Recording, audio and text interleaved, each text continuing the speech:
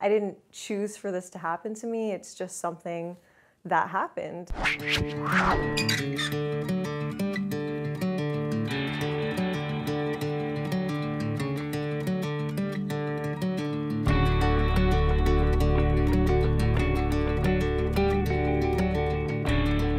It had nothing to do with me and my appearance. It was kind of my escape. I didn't feel attractive in my own body, but that's a symptom of something else. Intellectually, you know your worth isn't dependent on your appearance. I wanted at the time to be a supermodel. In short, it was because I wasn't truly pleased with what I saw, but that was based on what I wanted to be and what is accepted in the industry in which I found myself. I felt like I had no control over myself or my surroundings. So I turned to my body as a thing that I could control in order to give me a sense of stability.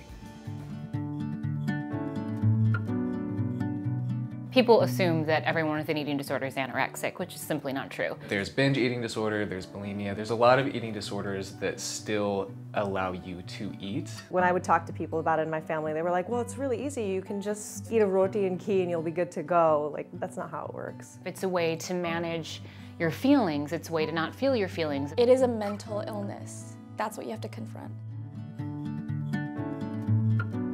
The worst thing that you could do to someone with an eating disorder is to say that you don't look thin enough to have an eating disorder. You can definitely be overweight or underweight or any type of weight and have an eating disorder. Eating disorders aren't just like physically harming, they're so psychologically harming, and I think focusing on sensational aspects, you're ignoring the fact that sufferers are in a lot of pain. Mental illness doesn't give a shit about gender. They affect all races, weights, genders, sexual orientations. People think it's a gendered illness. It just created a lot of stigma for me to deal with. If you're male and you have an eating disorder, don't feel like your struggle isn't real. So, so boys and anybody can get an eating disorder, and they do.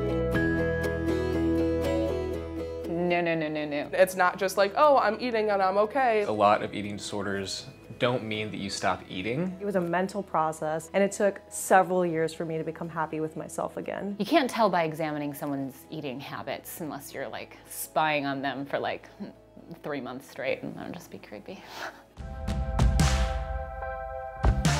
Recovery for me was a long time. it was really a battle. It wasn't just like, okay, I'm ready to get better today. It was a series of small steps and then a series of backward slides. I thought like I would never recover. I thought, uh, like, what am I gonna do on my wedding day? Like, I can't eat the wedding cake. It's still like every day when I should eat, when I shouldn't eat, and can I get over the fact that like food is so social and in my life every day. Recovery has been a lot of managing discomfort. It's a practice, it's not a destination. That eating disorder voice I had, like it's still there.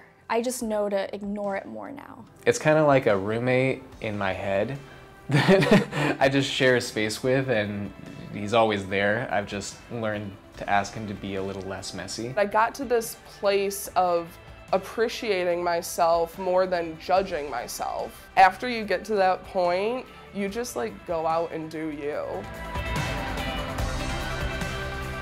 It doesn't affect my personality.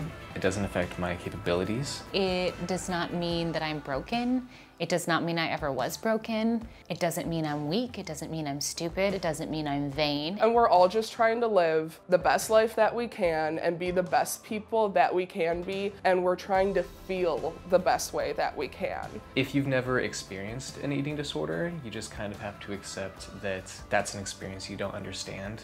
And I just need you to empathize with me.